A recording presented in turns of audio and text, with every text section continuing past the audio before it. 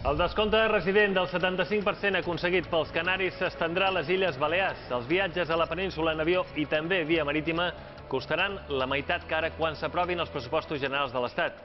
El govern vol que aquest, descompte aquest descompte quedi garantit dins el règim especial balear. Els partits es disputen el mèrit del que tothom defineix com una molt bona notícia. Una bona notícia vol dir que junts feim la feina millor. Jo vull agrair tots aquells que ho han fet possible, tant des dels de, eh, grups parlamentaris, com des dels partits polítics, com des de les institucions que ens han bregat per fer possible aquest 75% de descompte. Com que no les va massa bé, com que ara ja cerquen que si les companyies aèries, etc., no estan disfrutant el que haurien de disfrutar d'aquesta fita històrica que s'ha aconseguit per part del Partit Popular i no de la senyora Armengol.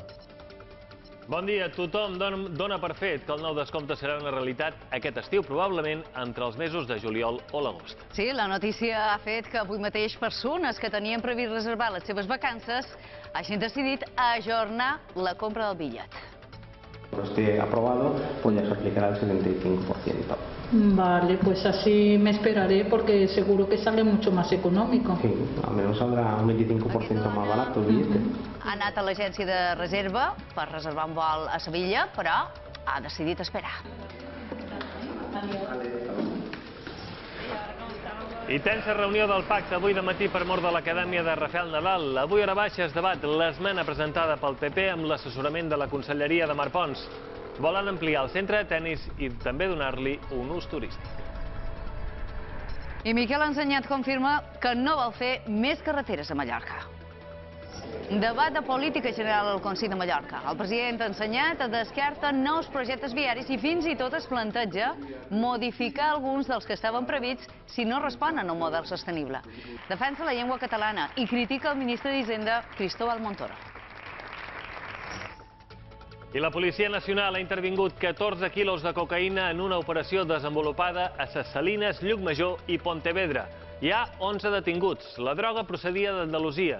La duien fins a Galícia i la transportaven a Mallorca amagada amb compartiments ocults molt sofisticats dins vehicles.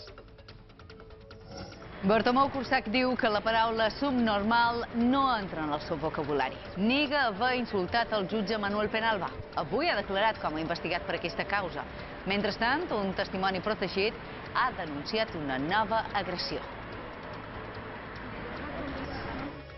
El Consell de Formentera vol fixar en 20.000 les places turístiques de l'illa. Té previst legalitzar 5.000 places il·legals de les 10.000 que hi ha. La zonificació que estarà enllestida l'any que ve permetrà el lloguer en sol rústic i en plurifamiliars a les zones d'Espujols, La Sabina, Escaló i Escamarí.